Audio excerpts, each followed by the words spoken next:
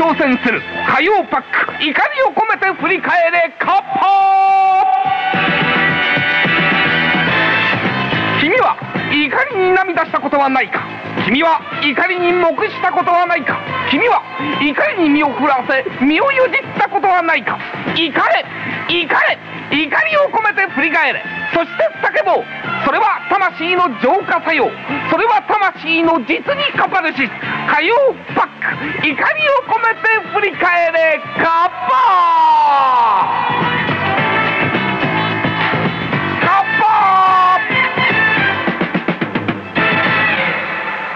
と早めに読みすぎて時間が余ったりしておりますが、えー、世の中にこの不平不満というのは渦巻いておりますね。僕ら一人一人の力は本当に弱いんですね。パックやりたいって言ってもできなかったりしますからね。えそういうことをですねえこのパック宛てに無力でございますが寄せていただいてえ我々火曜パック技術人が開発したカパという呪文。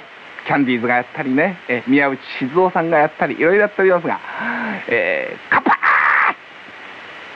ーうっぷんばらしをしていただこうじゃない。かよくあの江ノ島なんかにあるね。えこの後楽園なんかにあるね。ボールぶつけるとうおーって泣く。あれでございます。えこのね鬼の役目をしようじゃないか。えこれがこの怒りを込めて振り返るのコーナーでございますがまずはこれからいきましょう。小平市の矢島早苗さん前略一慶様。カパといっても直接私に関係あるものではなく、えー、先週8月16日。えー、先週8月16日の放送の佐藤めぐみさんのカパについて。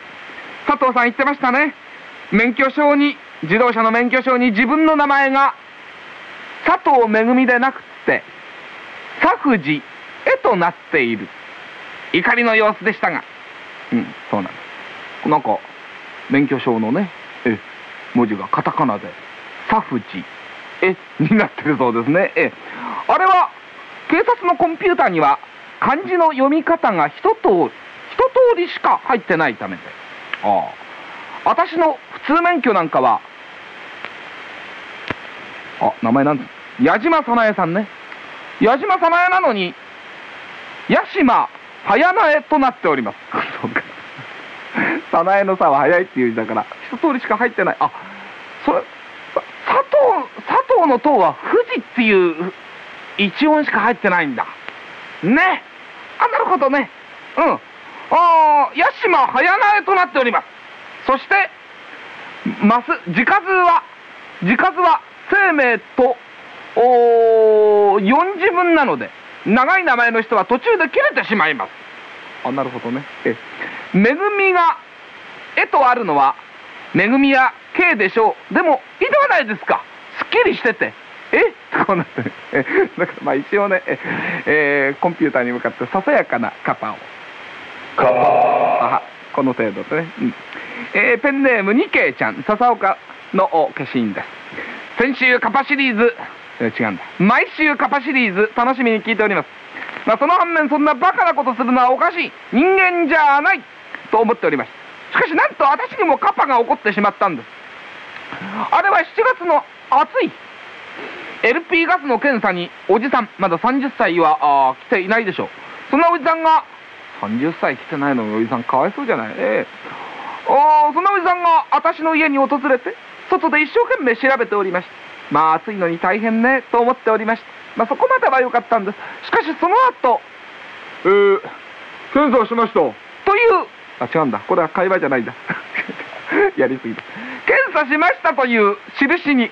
そうだごめんなさい。検査したという印にハンコを打つでしょハンコ。うん。それをあのおじさんは発音がおかしいんです。発音が。なんとパン粉。あのパン粉ね。パンの粉パン粉と私には聞こえたんです。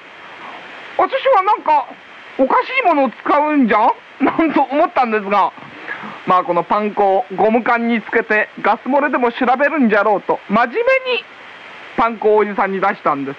そしたらそのおじさん笑ったら悪いなという感じでこらえて笑うんです。こらえて。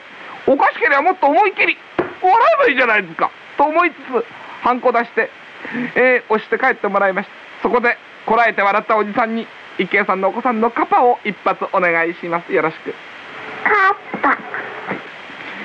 大阪市阿倍野区のキャンディーズの恋人石川太郎君一慶さんこのカパは命をかけて読んでください。大変なことになっておりますあれえ？そうあれは昨年の修学旅行でのことです。僕の母はすごく心配性で出発間際までお金は落とさないだろうかね。とか遠くで迷子にならないだろうかね。などと。当時17歳の僕をまるで小学生扱いにするんです。しまいには。風呂場でね友達とパンツ間違えないだろうかね。などと言うしますまあ母親はいつまでたっても子供に対してこんなもんだと考えて僕はあんまり気にせずにいたんです。そうです僕なんかもまだ子供扱いですあの子は人がいいから。騙される。これがね口癖でございます。えもう32でねえ世の中の荒波に揉まれてないと思われておりますがところが悲劇が悲劇。ね。悲劇が旅行先で待ち受けていたんです。楽しい船旅の後目的地の平戸に無事到着。そしていよいよお風呂の時間となりました。そこで僕はバッグからバスタオルとシャンプーとそしてパンツを取り出そうとしたんです。ところがなんとそのパンツのお尻の部分にマジックで大きく「太郎」と書かれてあるではないです。かしかも極太のやつで黒々と。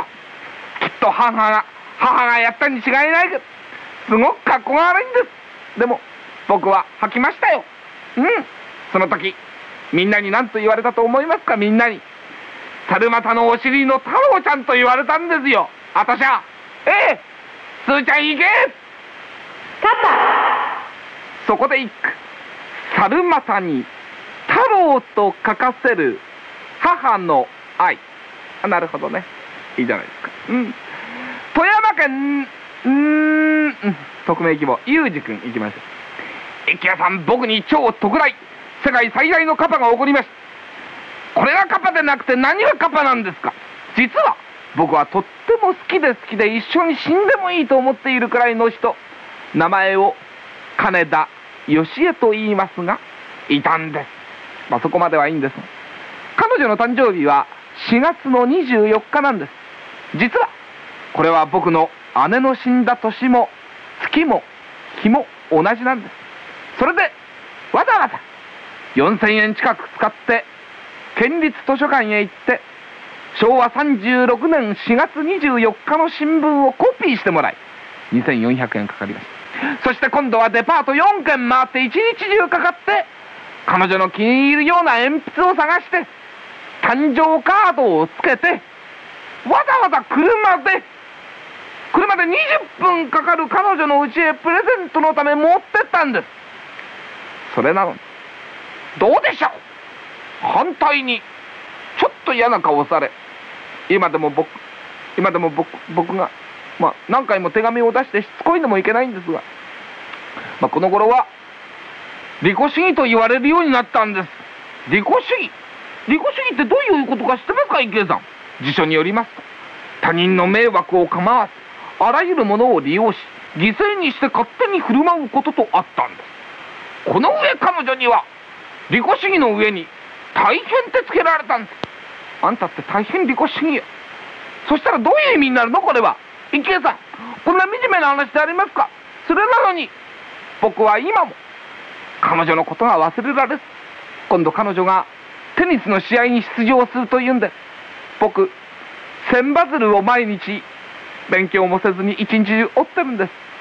そりゃ彼女はたくさんの人に大表だし彼は彼彼は鏡でよくわかんない。字が、うん、顔も見れない、うん、顔です。僕は。だけどこれはひどすぎると思いませんか？僕はお金のことを言ってるんではない。吉江さんのことを責めているわけでもないんです。こんな惨めな僕を責めてるんです。こんな惨めな僕を。これがカパでなくて何がカパなのか。恵子ちゃんの3連発カパで僕の目を覚まさせてくださいパカッパカッパカッパ疲れるんで。ね。え一慶さん聞いてください。これこそ世紀のカパメです。私の名はいくみ漢字で書くと育つ美しいって書くんです。この名前のおかげで名前の通り育たなく名前に負けて16年と11ヶ月生きてきました。これだけならカーパでも何でもないんです。親の期待を十分裏切った子が生まれただけなんですか。元が良くなかった。生まれてくる子が美しいはずない。ね。ここからが私の両親の活発さ加減の表れなんです。私の名前はななんと生年月日でつけたんです。生年月日で。昭和35年9月3日生まれの私を35年の5をひふみよいつむと数えていくといつってなるでしょ？5はいつ。ね。それで昭和35年9月の9 3日のみそれでもっていくみとつけたんだってこんなことなんでございます。まるで遊び半分の語呂合わせ。誕生日を忘れられないのはいいんですけど名前のペンダントブレスレットヘアピンハンカチエットセットだ。育みなんてありません。不幸な私に愛の手を。そしてこの不幸をもたらした私の両親。恵子ちゃんと一慶さんの親子の臨床カパをお願いします。一慶さん私の誕生日は9月3日です。もう覚えたでしょ？はい。カパあそうですか。カパって言えなくてパカっつってますな。は岡山市修造君。一慶さん次に僕にもカパが起こったんです。起こったんです。ええ。初めてお手紙出します。これからもよろしく。そうあれは13日の土曜日に本を買うために紀ノ国屋書店に行って無事本今日の料理というのを買って1階の漫画本のところで56人が立ち読みをしていたんで僕もその中に混じって本を読んでましたすると僕の横にいた子供いやガキあのガキがよだれを垂らし鼻くそをその読んでる本につけて読んでるんです僕は嫌なガキだなと思いながらも気にせず読んでますと店員が来てこのガキに「僕ちゃんのお母さんどこ?」と尋ねるとしばらく黙ってたそのガキがなんとなんとですよ。僕のズボンを掴んで「お兄ちゃん」と言ったんです。僕は何度も弁解しましたが聞き入れられずその本代なんと280円を払わされたんです。パパこれはひどいです。手近に手近にいるもので済ませるというね、ええ、これは許せません平塚市有名にしてあそう熊沢義恵ちゃん。ね。あ一慶さん。やっと私にもカパが起こったんです。なんか喜んでるみたいですな。うん。私は叫びたい。あれは今朝。今朝なんです。いちいちなんかビックラトンマークがついてるんですね。今朝なんですよ。今日は16日。全校登校日だったんでいつもの通り歩いて学校に行きました。その途中の出来事だったんです。もうすぐ学校に着くなと思いながら曲がり角を曲がると向こうから白いワイシャツを着たおっさんがへこへこ自転車に乗ってやってくるんです。へこへこってのはいい表現だね。え。ええ私は別に気にも留めず前向いて歩いてたんです。その人は私とすれ違う瞬間なんとこう言ったの。お姉ちゃん大きいおっぱい。垂れ下がってんじゃん。なんですって失礼な。確かに私はおっぱいはおも大きいです。だけど垂れ下がってなんかいませんよ。あんまり大したカッパじゃないが一応こういうのもね。カッキャンディーズで。うん時間がないんで一つカットね。えー、これはん？二つカット。ん？広島県府中市宮原正臣君。絶対匿名で。いいかな、ペンネーム山田一郎君。こんにちは池江さん。先週の放送で続編を約束し爽やかな印象と深い感動を残して消えたあの悲劇の美少年山田一郎ペンネームでやん。弟の顔にビンタを食らわし危うく命を落としかけたというあの男です。あね。ガールフレンドから。電話がかかってきた。自分はトイレに入ってたら「お兄ちゃんはうんこやで」って大きい声で言ったっていうそのねえあの時4つと書いたはずなのに一慶さんが読む時は6つに変わってましたしかまあ小さいことを入れると10を超すんで少々いいんです。弟さんの悪行の数ですこれは。え小さいことなら本当にたくさんあります。靴やカバンやラジオを隠すたわいないことですがこんなことならいくらやられてももう慣れてしまって我慢できます。かしこれからお話しするような大きい言葉をもう我慢できません。